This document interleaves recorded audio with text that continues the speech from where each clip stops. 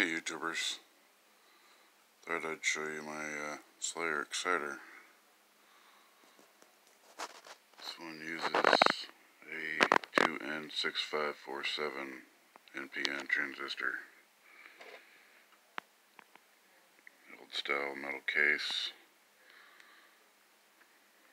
And roughly 2K resistor on the base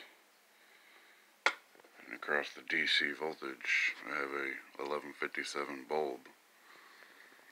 And optional on the input DC is a 12 volt flasher unit. So the bulb simulates enough current for that to flash.